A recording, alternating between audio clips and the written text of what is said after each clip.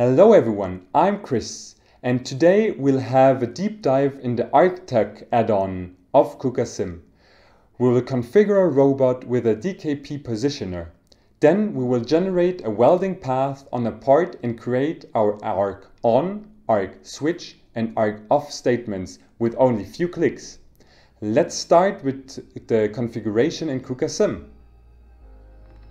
So when you open KUKA we're first going to have a little look on the options where you can actually select your controller version. So I'm going to take the latest 8.7.5 and in addition to that we also have to look at our option packages. So here you should look at the ArcTech Basic version. You can manage it here and add new ones.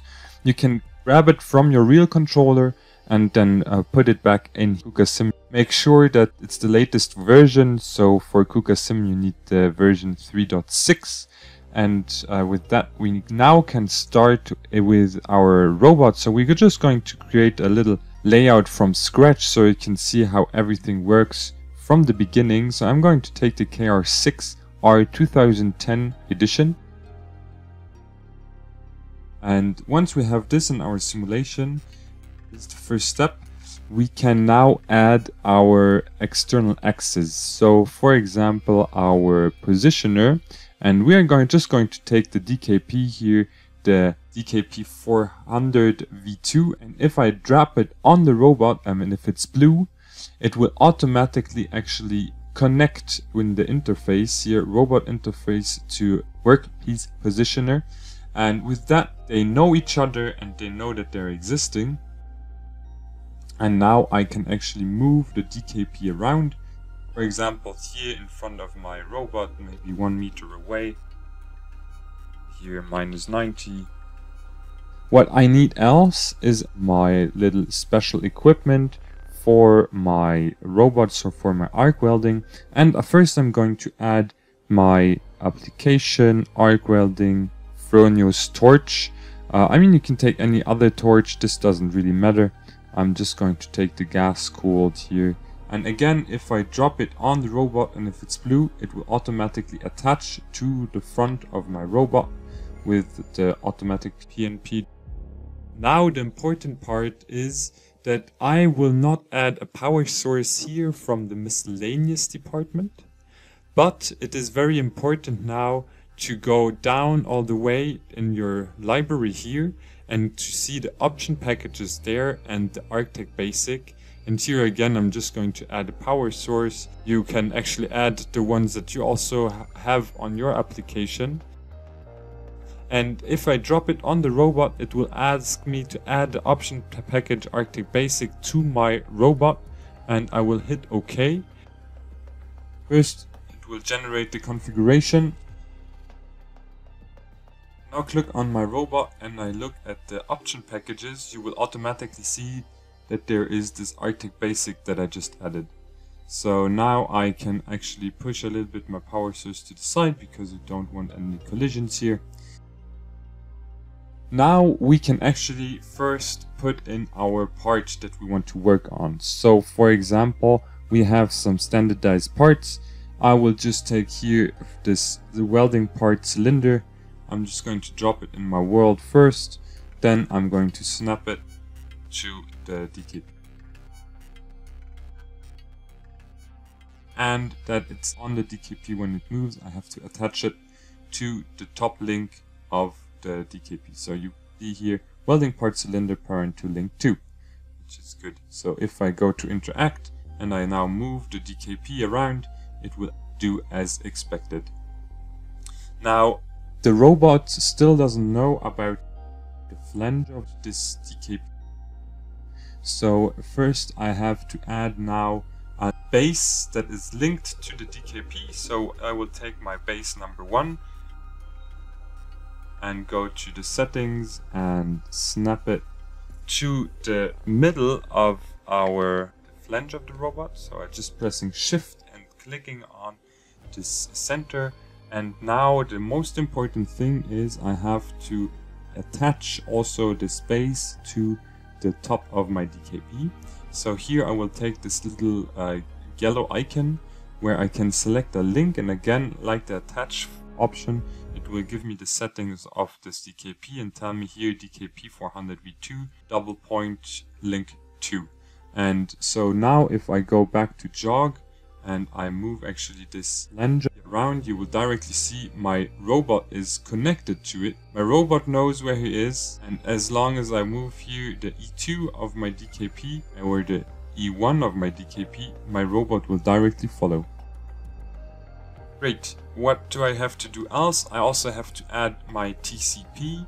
So at the moment it's still at the flange of my robot, but I need to make the settings here and also to snap it uh, here to the front of my nozzle um, and make sure also here to change the mass and all the center of gravity and inertia like on your real robot.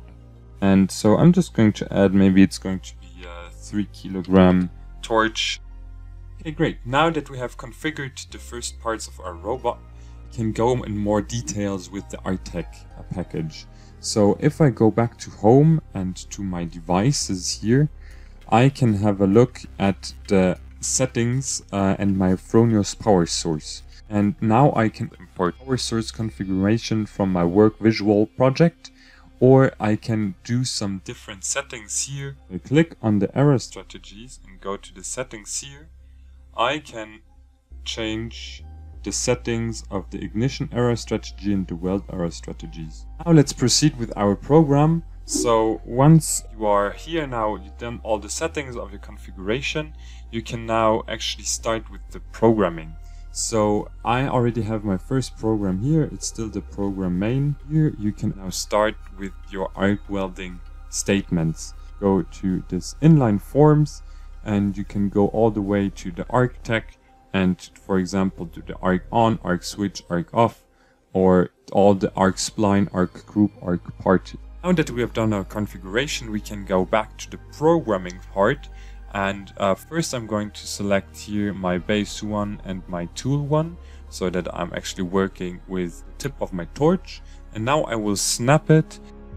The, the orientation is not good, so I'm going to take the plus X orientation and now go to here and my robot will directly jump to it to add a new statement, go here to this inline form and to ArcTech an arc on statement on PTP. This will be my first statement and then I will just snap the next point which is going to be somewhere here and actually add the an ArcTech arc off because I just want to weld this first part and we're going to just play it to see what happens.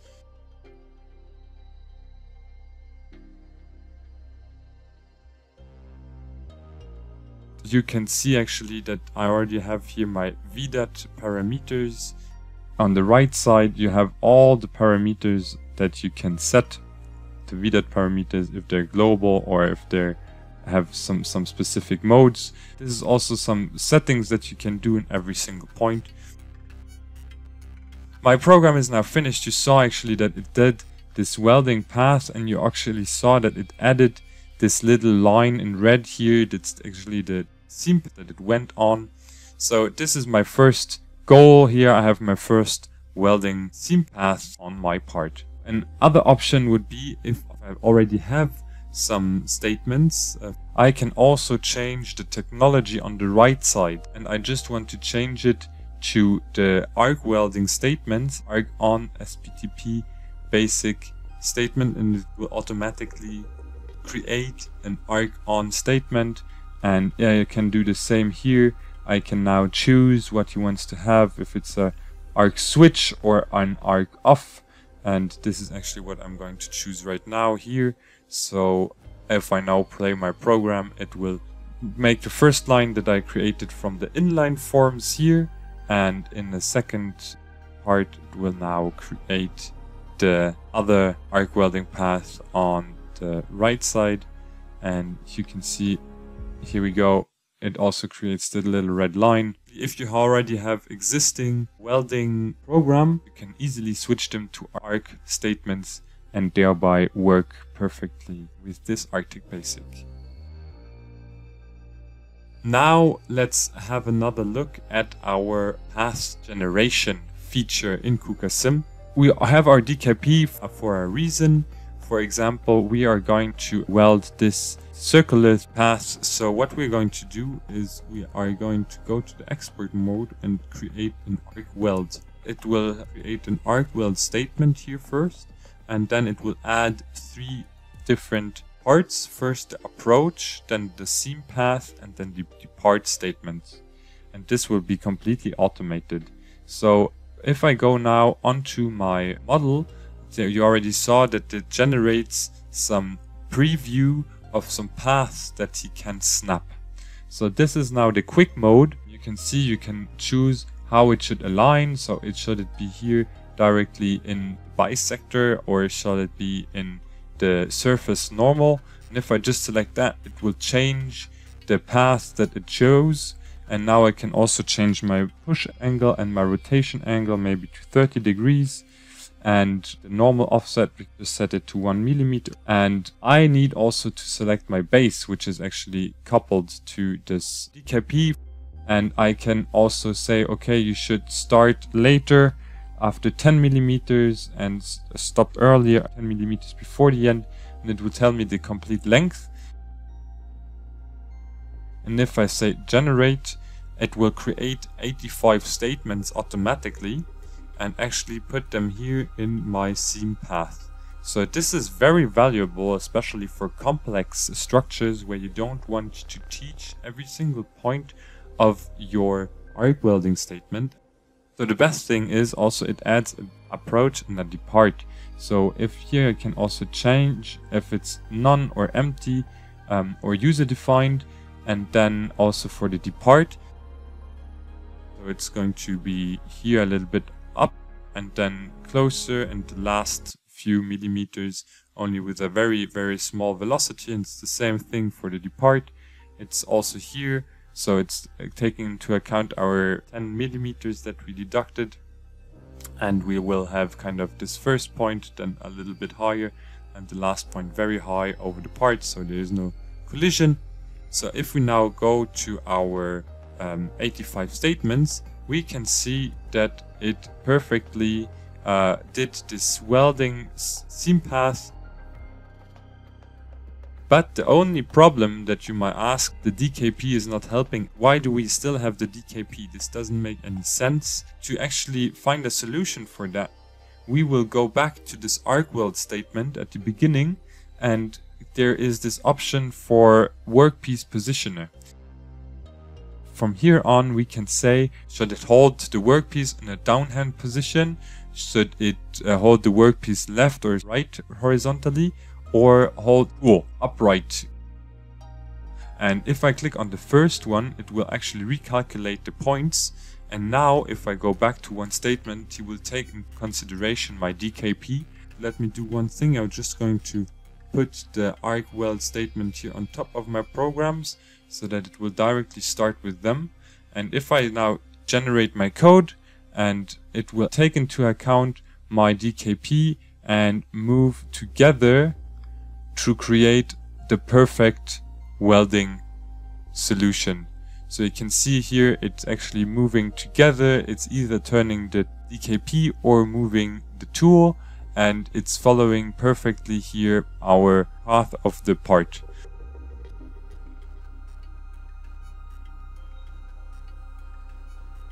Accelerate a little bit the simulation and now you can see it moves perfectly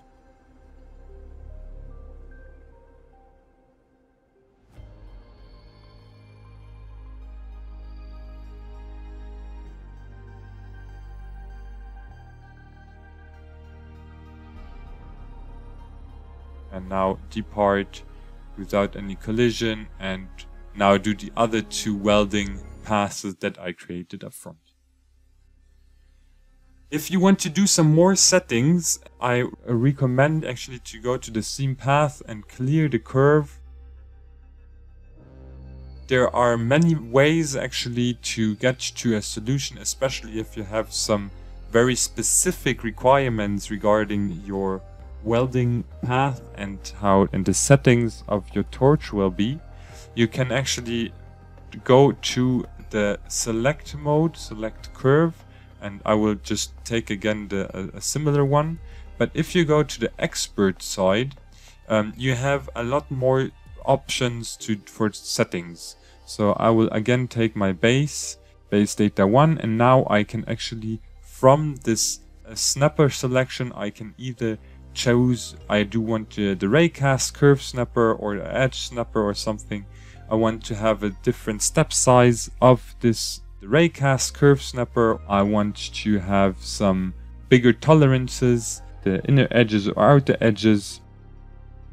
These are the settings that I made up front, but I can change actually also at some side or some angle offset and also change the path alignment. So this is actually the really the expert mode on how what speed should should the robot have in total or what other settings you want to have. You also have some kind of regression, so it will change for your path and uh, you can also kind of change some sharp par corner parameters uh, where you can then change everything from your spline block and everything to also make the most out of this uh, tool. You have actually to try it out once or twice so that actually it makes sense and it works out for you. But now if I actually press generate again, it will create only 42 statements because I made some changes. Here it will not have uh, taken into account my DKP, so actually now it's uh, in axis 5 it's going to break the robot. What I'm going to do again, I'm going to go on arc weld and take also this workpiece positioner that it's actually taking into account the DKP and now it will work together as soon as I generate the code it will make my depart and start and again it will weld my part addition to that, if you want to have a look at the speed of the TCP, you can now collect your data and look at the trace settings. And if you want to have a look at the TCP velocity or the TCP acceleration, you can now actually look at it. And um, once you start now the program, you will have this little trace diagram opening up as soon as you click on this option. And now you can actually see that the speed is quite constant. You, you can look here at the specific values during the time. It's always about at 8.3 millimeters per second, so exactly the velocity that we entered. And if you now jump back and look at the whole time frame at the beginning, if I click on this part, it will actually jump back to the place where the TCP velocity was very high. So if you have some hiccups and you see something is not working as you expected it, you can go back to uh, this diagram and look wh where happened what. So here was our moment where we go to from from our approach and the velocity was very high so you can really have a closer look at the information here Thank you for watching this video. If you would like to see more interesting videos about KUKA Simulation World, feel free to hit the like button and subscribe to the channel. Looking forward to seeing you in the next video.